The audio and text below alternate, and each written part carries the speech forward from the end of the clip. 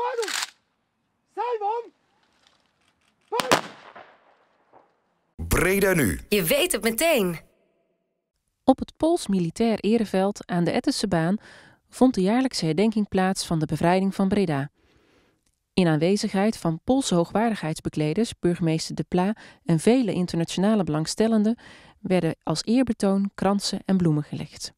Meneer, hoe kijkt u terug op deze herdenking? Uh, ja, zeer positief natuurlijk. Het is voor ons een uh, jaarlijkse herdenking natuurlijk uh, voor de Polen hier.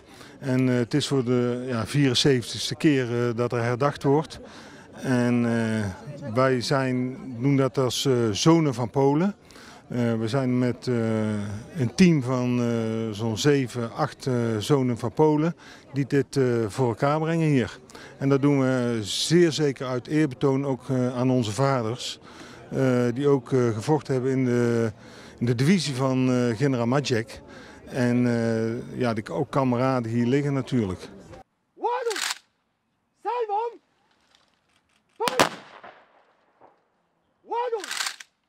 Simon, One, Simon, Speciale aandacht was er voor de zeven aanwezige oud-strijders die een Poolse onderscheiding ontvingen voor de door hun geleverde strijd voor de vrijheid. Hoe vindt u dat u de medaille heeft gekregen? Ale- No jestem bardzo dumny z tego. A to pani przytula? Hij is heel trots op. Dat snap ik. Gefeliciteerd ermee. Gratulacje. Thank you. En er zijn nu nog best een aantal oud-strijders eh, aanwezig. Dat, ja, dat wordt langzamerhand uiteraard minder, zo gaat het. Ehm, blijft het belangrijk om het wel te laten plaatsvinden? Ook al zijn de veteranen er straks, ik hoop nog even niet, maar over een tijd niet meer. Uh, nou ja, wij vinden van wel. Wij hebben sowieso aan, wij doen nou de organisatie zo'n 14, 15 jaar hier. Wij hebben het ook overgenomen van de, de, oude veteranen die het eerst deden hier. Wij hebben daarop gewacht tot hun het teken gaven. Nu mogen jullie. Want het was een uh, onderdeel van hun uh, om hun kameraden te eren. En wij hebben gezegd, wij gaan net zo lang door totdat de laatste veteraan er niet meer is. En dan zien we wel weer.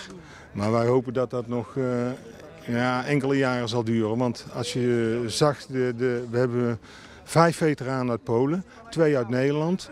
De jongste is 93 en de oudste 99. Dus ja, dan weet je het wel.